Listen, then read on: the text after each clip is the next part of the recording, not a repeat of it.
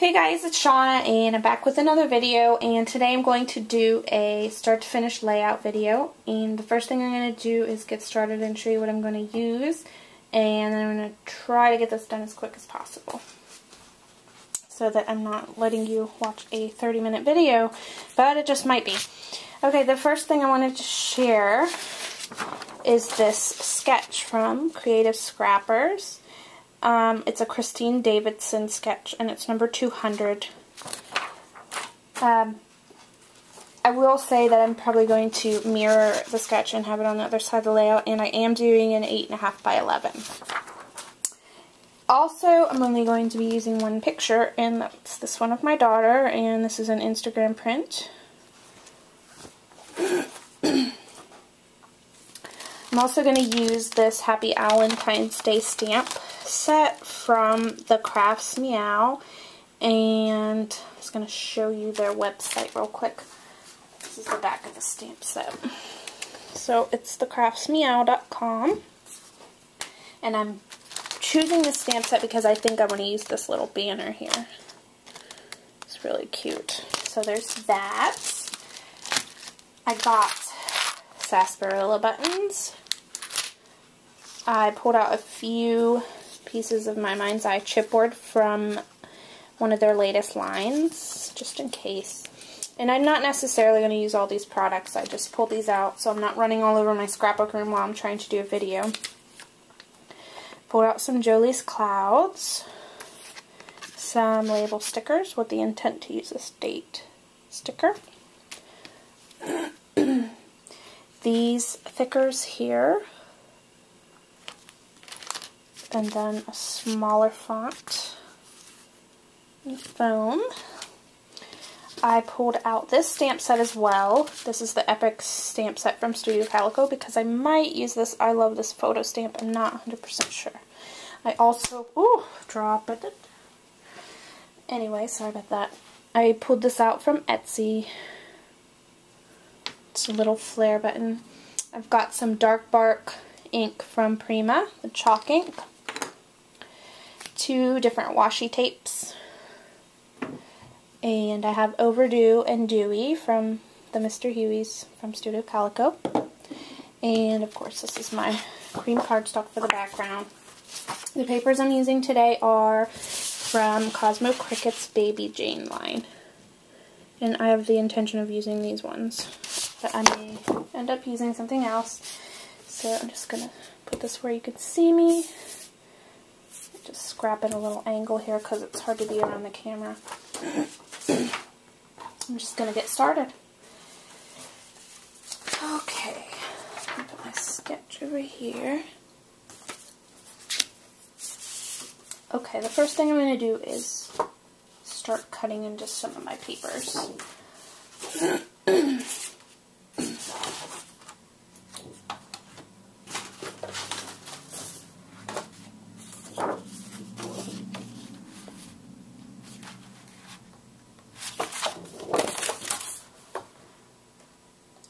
Going to do about two and a half inch strips I'm cutting right now. The sketch has one large sheet on top, and I'm going to jazz it up a little bit and do two strips together. And I like to use my craft knife. Let me move this a minute. And I like to do this little swoopy cut by hand. Sometimes it doesn't always turn out right, but it looks okay there. so I'm going to do that on both of these. And one's going to be shorter than the other. Do this one longer. So, that done. not doing any inking on this, I don't think. So I'm just laying this out while I figure out what I want to do next. And then my picture is probably going to go like right here. Corner of paper sticking up.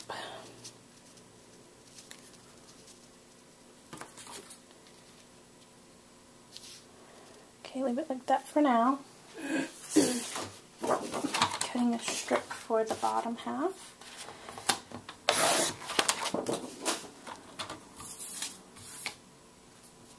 See how long I need it. Oh, a little bigger than that. You get to see all my trial and error on this one. And now it's too big. I might actually cut this large enough to go behind photo. I'm trying to think. Let's just try that.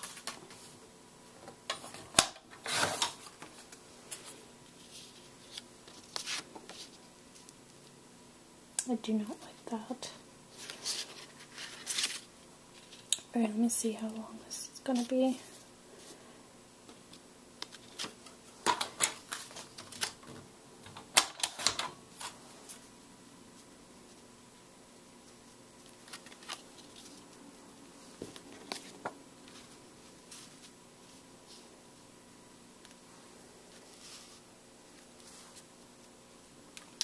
So I think I like that. Now I'm going to do one of my Mr. Huey's before I put down my papers and things. So I just like to do this much more than I like to mist. And you see this in a lot of my layouts. If I want a smaller little bit going, I do this. And then I'm going to do the same with my Dewey. Shake it up good. Splash it on. I just think this gives it a lots of fun color.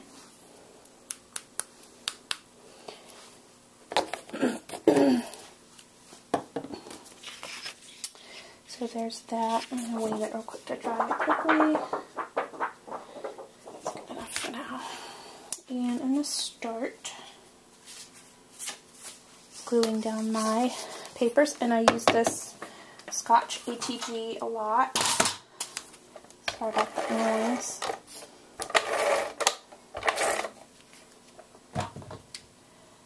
Okay. So let's see where this is gonna go. So about right here. Hopefully I have this in the right place because ATG is so sticky. I won't be able to move it much without tearing the background paper.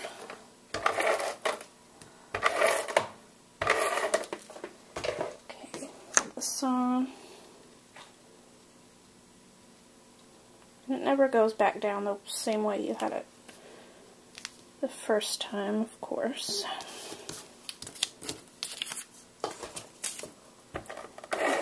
Little piece on the bottom.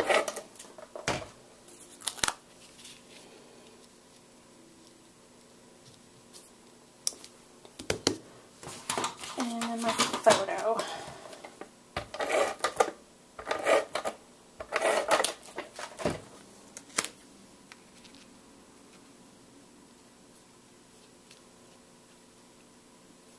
Okay let's see, I am going to now try to use that stamp. This is the um, Crafts Meow stamp that I'm going to try to use and make my little banner.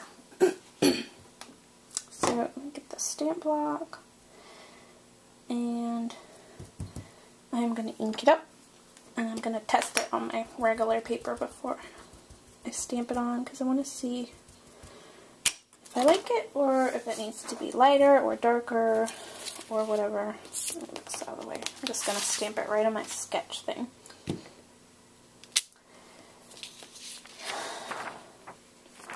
I think it'll be okay. I hope.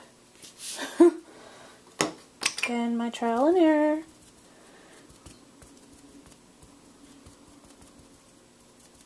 I'm just inking up again. Real quick, I'm going to pull out my stamp pad for my stamp guys. And here we go.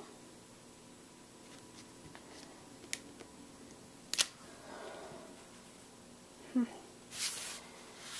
Might have to fill it in with a marker later, but that's the general idea. Or I can go back and stand again. So I'm not going to do that on the video. I'm just going to keep going. It doesn't have to be perfect either. Anyway, my title is going to be... I was going to do all dolled up, but I'm not sure I want to fit all that in that space. Okay, let's see. Just going to do dolled up. So I'm going to use my chipboard thickers for the word up. And it feels like the adhesive is a lot better.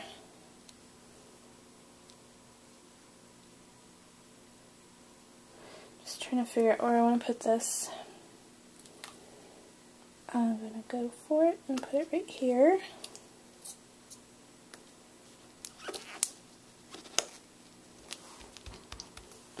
And the yellow ones. And start from the end.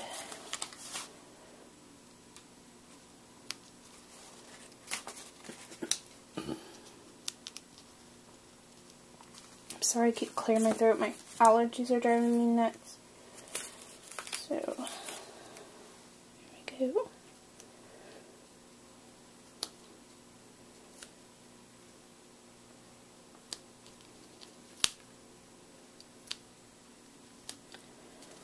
And of course you guys can fast forward this part if you wanted to, just sticking letters down.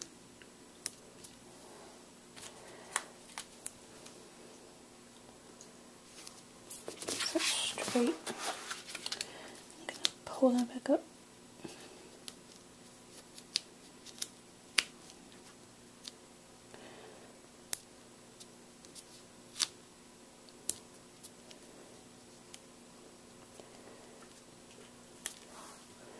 So there is my title. And now I'm going to pull out that label sticker and see. I'm going to put it here. I think I do, but I want to do a little layer of washi under it. And I'm going to go for the red. tear a piece off. Oh, it's the red polka dot forgetting to do it on camera. Get my trusty little Kirby's. And I'm going to make it look like this on the bottom.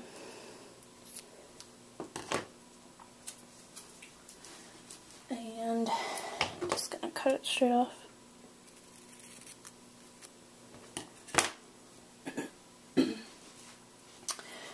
then that can go under the date sticker. Like so.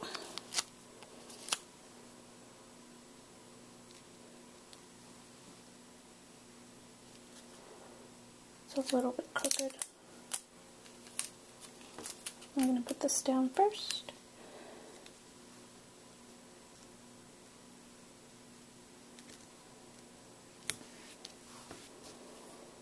and my date sticker will go right on top.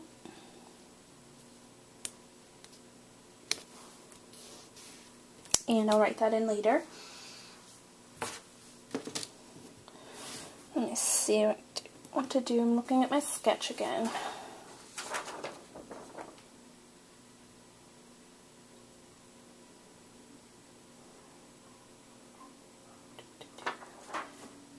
I am going to put some more washi on the bottom. I'm going to use the grid this time. I'm going to find where it starts.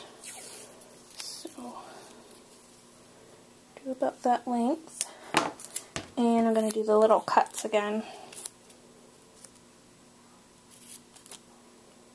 I kind of just eyeball it. I'm not really picky when it comes to being perfect.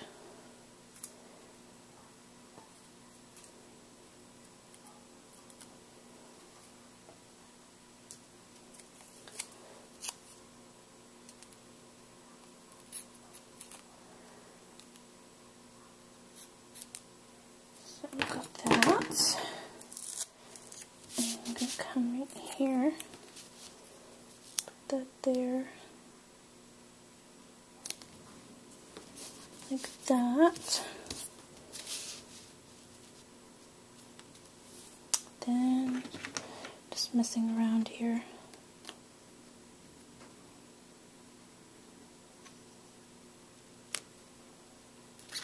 Okay, I'm to put there. So I just need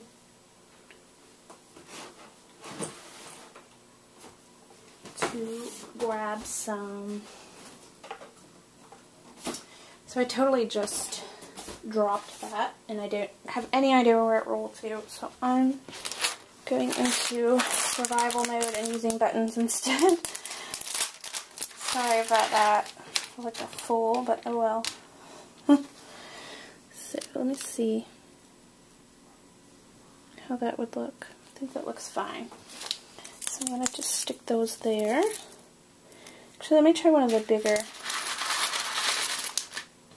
pattern buttons from this collection.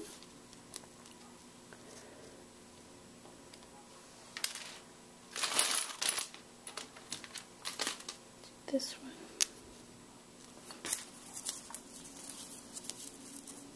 Could also stick twine or whatever through your buttons, but I'm not going to do that this time. Just put that there like that.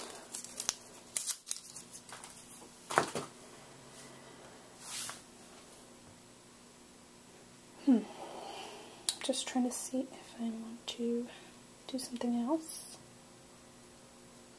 I'm going to go ahead and use that Love this photo stamp pulling that out now.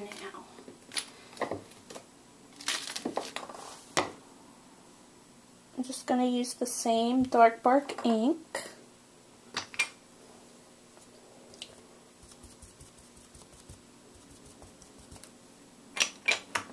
And actually let me put that closer to the top so I don't get caught up on the buttons.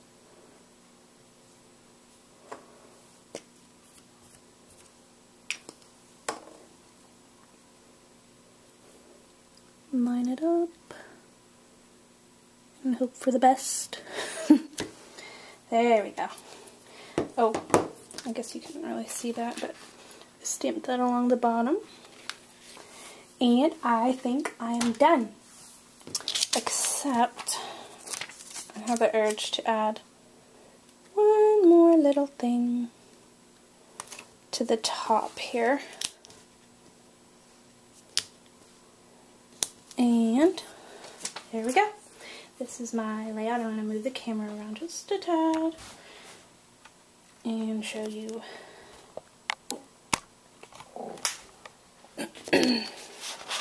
how it turned out. All I gotta do is write the date in and it's all finished. So this is dolled up and